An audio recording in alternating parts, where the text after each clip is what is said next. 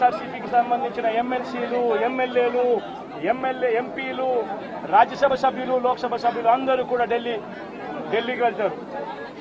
వెళ్ళి బుధవారము ఢిల్లీలో symbolic protest symbolic protest symbolic ధర్నా ఢిల్లీలో చేసే కార్యక్రమం కూడా చేస్తాం. రాష్ట్రంలో జరుగుతూ ఉన్న దాడులు రాష్ట్రంలో ఉన్న లా అండ్ ఆర్డర్ పరిస్థితులను దేశమంతా కూడా చూసేట్టుగా దేశమంతా కూడా దీన్ని గమనించి దేశమంతా కూడా దీన్ని ప్రొటెస్ట్ను వాళ్ళు కూడా ప్రొటెస్ట్ చేసే చేసే విధంగా దీన్ని హైలైట్ చేసే కార్యక్రమం చేస్తాం. ప్రధానమంత్రి గారి అపాయింట్మెంట్ ఇప్పటికే అడగడం జరిగింది. అమిత్ షా గారిని ప్రెసిడెంట్ అపాయింట్మెంట్ కూడా అడగడం కూడా జరుగుతుంది. వీళ్ళందరూ కూడా అపాయింట్మెంట్ ఇస్తే వీళ్ళందరినీ కూడా కలిసి కలిసి వీళ్ళందరికీ కూడా చెప్పే కార్యక్రమం కూడా చేస్తాం.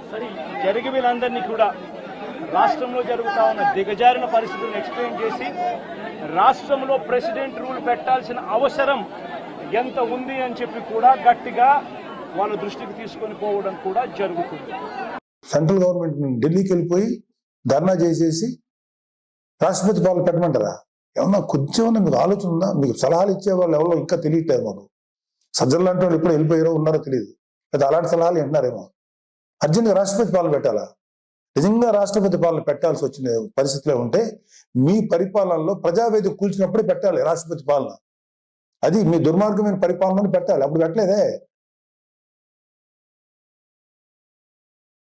సార్ మీరు రేపు జరగబోయే శాసనసభల సభలకి అటెండ్ కాకుండా ఉండటానికి ఓ కొత్త నాటకాన్ని కొత్త స్టేజ్ క్రియేట్ చేసుకుంటున్నారు. ఢిల్లీ వెళ్ళాలని. ఓ పని చేయండి. మీరు వెళ్తే వెళ్ళండి ఢిల్లీ. మాకే అబ్జెక్షన్ లేదు. కానీ రేపు శాసనసభలో మీటింగ్ జరగబోతున్నాయి కదా దానికి మీరు రండి. మిమ్మల్ని వ్యక్తిగతంగా అనద్దని చెప్పి నా పర్స నా పర్సనల్గా నేను బీజేపీ టీడీపీ జనసేన ఎమ్మెల్యేని రిక్వెస్ట్ చేసుకుంటాను.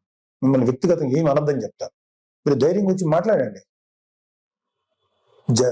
శాసనసభని ఫేస్ చేయటం ఎందుకండి అంత భయం మీకు? రండి ధైర్యంగా రండి. మీకు ప్రతిపక్ష హోదా ఇవ్వకపోయినా ఓ ప్రస్తుతానికి ఉన్న పదకొండు మంది ప్రతిపక్ష ఫీల్ అవుతాం మేమందరం క్వశ్చన్ చేయండి. కూటమి ప్రభుత్వాన్ని శాసనసభలోనే అడగండి. రోడ్ల మీదకి వచ్చి మాట్లాడితే ఎట్లాగా?